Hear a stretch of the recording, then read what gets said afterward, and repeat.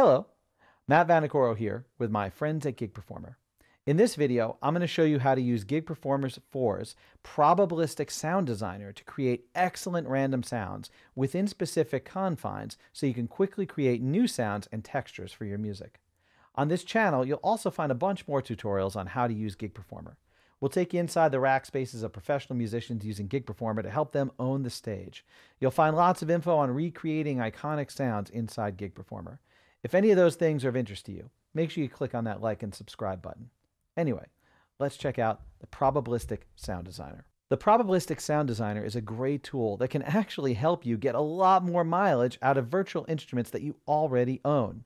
Let's jump in and take a look. So I've got a basic setup here with a nice little Roland Juno synth simulator here. Standard MIDI setup, just a keyboard with a Juno sound.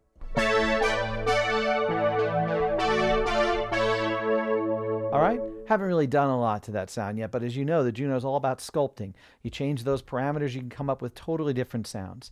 Now, what's really neat about the probabilistic sound designer is that you can use it to just create completely random but also organized chaos and give you lots of different presets at the touch of a button. So let's take a look. I'm going to open it up. So to open it up, I go to this little three dots here in the upper right corner of the instrument itself. And you'll see the probabilistic sound designer. All right, so there it is. Now I've got a randomized button, the function to capture parameters on and off, and then remove everything. And I can also load and save some setups. Let's do a couple of basic things. So with the capture parameters button on, I'm able to click on a parameter inside of this instrument. So I'm going to separate these so that we can get both going at the same time. Okay, I click on any parameter while that capture parameters button is on, and that parameter is going to be loaded into the probabilistic sound designer. So let's say I'm going to do something really simple and easy to understand. The filter cutoff frequency. I just click on it, and there it is. So now VCF cutoff is in the probabilistic sound designer. Nothing has changed yet. But when I click randomize, watch what happens to the level of it. So right here is the level of it. I move it, and you see it moving, in the original instrument there on the left side. But if I click randomize, it jumps to a random spot. There we go. Click on randomize again.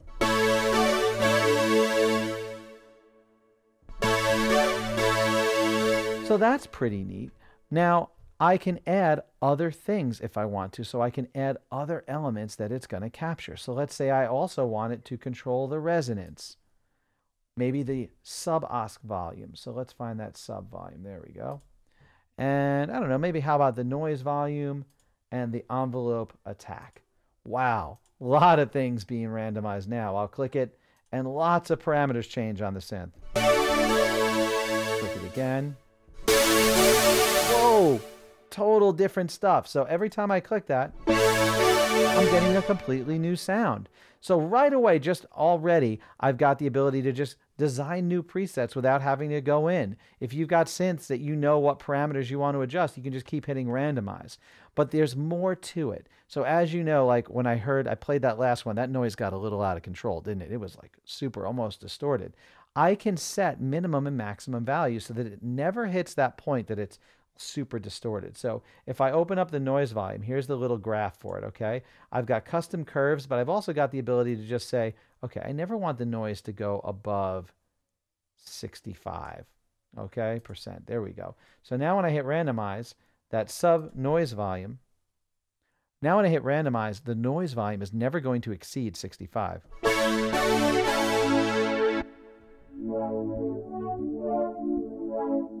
So that's pretty neat. Now you'll notice I might also want to set some minimum values because as you just heard, perhaps um, the attack went a little too slow for my taste. That attack went a little too far. So what I can also do is adjust the attack and keep it within a certain range. So I can set them a minimum value and a maximum value and just say, okay, the attack is always going to be within those two dotted lines. So the attack is always going to be reasonable. Okay. Now, some other things that are really cool is you can lock certain parameters. So let's say I listen it, I'm like, oh, I'm getting closer. That's the sound I want. And I know that that has to do with the cutoff frequency and the resonance. So I'll hold them and I'll say, okay, those are cool. Don't touch them. Randomize everything else. And if you watch, those will stay. So the attack is still changing, the sub volume is still changing, the noise volume is still changing, but the cutoff frequency and the resonance are staying where they are. So you can, when you finally get to that golden era, it helps you hone in on what you're looking for. So this is great if you like have an idea of what you're looking for, but you're not 100% quite sure the best way to get there. You know what you want to adjust, but you're not positive yet. You want to get inspired. You can use the probabilistic sound designer to give you that kind of inspiration. Now, I can go ahead and actually adjust curves and that will adjust the probability for me. So if I decide, okay, I open up the curve and I pick a curve shape for resonance, now it's going to favor the values in the center.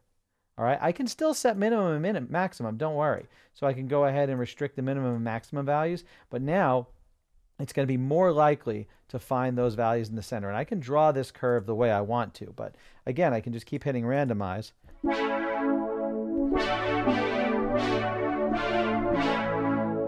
get a different sound every time, but the amount of difference is starting to restrict and restrict as I hone in on what I'm looking for. So that's pretty cool. You can control a lot of parameters, and I picked this simple synth just to show you off the top of my head. But you know, if you want to take a look, we have a great video showing you how to get into this with a complicated synth like OBE and control all the you know massive parameters that might be in a synth that large. So it's definitely worth checking out if you haven't yet. Now, if you like what you're working with, you can load, save, or you can clear everything if you want to. So I can go ahead and remove all. I can save my parameters um, and I can load them up later on. So let's say I remove everything and I decide, oh, I had a setup that I really liked. I'll tap load. And right there you can see my Juno randomizer. I open it up and I've got the ability to restore the associated plugin state and that's going to restore the original plugin state and give me all the parameters. I'll just cancel. I'll work with what I'm working with now and I'll hit randomize and you'll see I've got the restricted level of the resonance there with a curve favoring certain values. I've got different degrees of slopes on each one of these. So I've got a randomizer that I really like for this instrument. Already set up. So you can take that and port it over to, you know, different patches as you make them. And again, you can use this for audio, you can use this for your favorite sound adjusting plugins.